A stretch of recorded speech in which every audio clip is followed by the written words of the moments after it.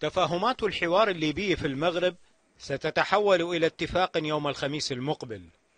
اتفاق سيوقعه بالأحرف الأولى كل من رئيس المجلس الأعلى للدولة خالد المشري ورئيس مجلس النواب طبرق عقيل صالح. الاتفاق ينص على تشكيل لجنة لمناقشة المناصب السيادية وفقا للتفاهمات التي توصلت إليها أطراف الحوار الليبي في بوزنيقة المغربية قبل أسبوعين. خالد المشري الذي أفصح عن موعد الخميس أكد أنه سيذهب إلى المغرب بيد ممدودة للحوار ولكن بحذر.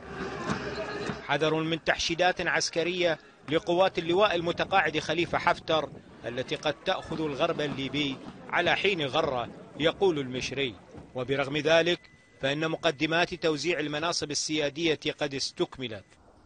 فقد أعقب تفاهمات بوزنيقة. إعلان كل من رئيس المجلس الرئاسي الليبي فائز السراج عزمه استقالته من منصبه في موعد أقصاه نهاية أكتوبر المقبل.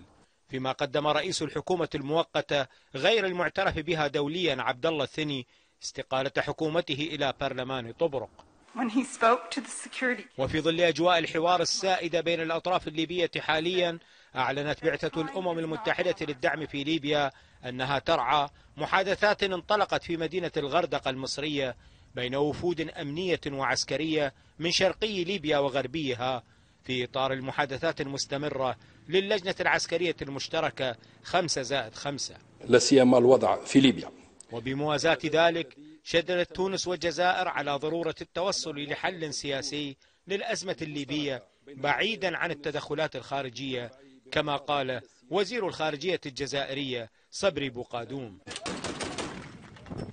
عجلة الحوار التي تحث الخطى في ليبيا اليوم أنعشت الآمال بمشاهدة ضوء في آخر النفق المظلم الذي أدخلت البلاد فيه تسع سنوات عجاف من النزاعات المسلحة أثبتت استحالة استفراد أي من أطراف الصراع بالبلاد النفطية المترامية